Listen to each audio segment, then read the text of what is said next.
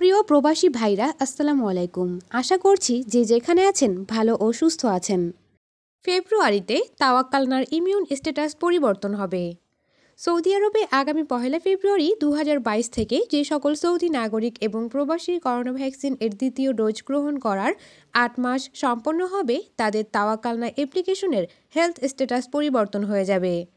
Corona vaccine এর দ্বিতীয় dose গ্রহণের পর হেলথ স্ট্যাটাস ইমিউন প্রদর্শিত হলেও দ্বিতীয় ডোজ গ্রহণের আট মাস অতিবাহিত হবার পর স্বয়ংক্রিয়ভাবে হেলথ স্ট্যাটাস পরিবর্তিত হয়ে যাবে।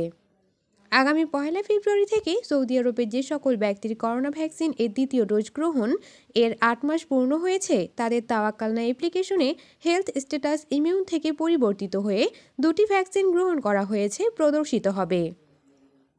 উল্লেখ্য যে করোনা ভ্যাকসিনের দ্বিতীয় ডোজ গ্রহণ করার পরবর্তী আট মাস পর্যন্ত তাওয়াক্কালনা অ্যাপ্লিকেশনে ইমিউন হেলথ স্ট্যাটাস পরিবর্তিত হবে। আট মাস অতিবাহিত হওয়ার পরে স্বয়ংক্রিয়ভাবে হেলথ স্ট্যাটাস পরিবর্তিত হয়ে যাবে। করোনা ভ্যাকসিন এর দ্বিতীয় ডোজ গ্রহণ করার ছয় মাস সম্পন্ন হবার পর বুস্টার ডোজ গ্রহণ করতে পারবেন সৌদি আরবে অবস্থিত সকল সৌদি নাগরিক ও প্রবাসী। দ্বিতীয় ডোজ গ্রহণের আট মাস পরে হেলথ স্ট্যাটাস পরিবর্তন হয়ে যাবার পরে কেউ যদি বুস্টার ডোজ গ্রহণ করেন, তবে তার হেলথ স্ট্যাটাস পুনরায় ইমিউন হিসেবে প্রদর্শিত হবে। কেউ যদি দ্বিতীয় ডোজ গ্রহণের আট মাস অতিবাহিত হবার পূর্বেই ভ্যাকসিনের তৃতীয় ডোজ অর্থাৎ বুস্টার ডোজ গ্রহণ করেন, তবে তার তাওয়াক্কালনা অ্যাপ্লিকেশনে ইমিউন হেলথ স্ট্যাটাসই বহাল থাকবে।